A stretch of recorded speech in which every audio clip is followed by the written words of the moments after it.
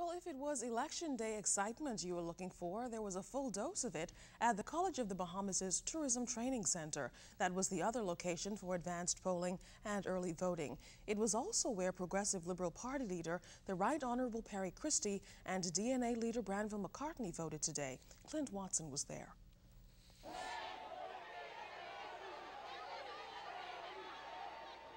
Make no mistake about it, general elections are here. The overwhelming support that the three major parties had at the polls from workers, agents, or supporters kept the excitement high as voters from the armed forces or for the first time regular civilians unable to vote on election day queued up to cast their ballots. Among them, leader of the opposition, Right Honorable Perry Christie, and his wife Bernadette, who arrived amid fanfare. The process, Mr. Christie agreed, was relatively quick as he cast his ballot in Killarney.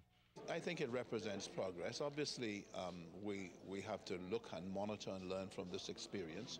Um, the numbers um, of students voting abroad are important, but not all that significant in the sense that there are large numbers of them.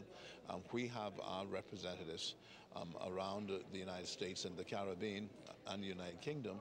And, you know, as I indicated before, we have to learn from this because small parties and independent candidates would find it next to impossible to be able to conform with the requirements of the law. Mr. Christie says he is encouraged by the intelligence he received from Grand Bahama and the other polls. He is convinced that voters are speaking loud and clear. There is a gold rush. Um, it is evident wherever you go, um, and that is encouraging to us. It is not a definitive or conclusive um, position, but most certainly it is encouraging to us given where we are today. Democratic National Alliance leader Branville McCartney also casting his ballot in the advance polls. A confident McCartney says he expects to form the next government of the Bahamas. For the most part, he was satisfied with the process, except for one concern his party encountered. It's a bit unfortunate um, that the family islands were, or we were not told about it until a few days ago.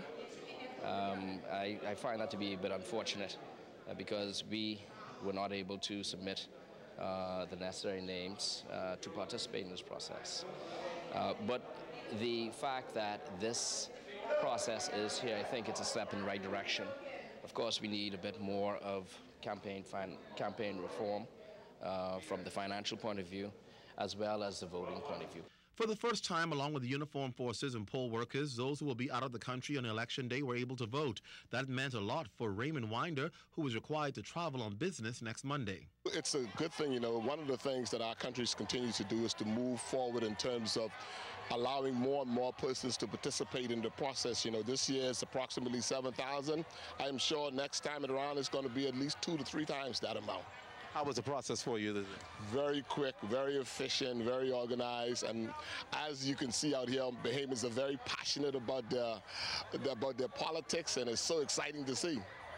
Throughout the morning, there were constant exchanges between police and party supporters as officers tried to keep those supporters on the outside of the COB complex. However, the war of words erupted from time to time over which side had more supporters inside the complex. For the most part, though, the day went without incident. Clint Watson, ZNS News.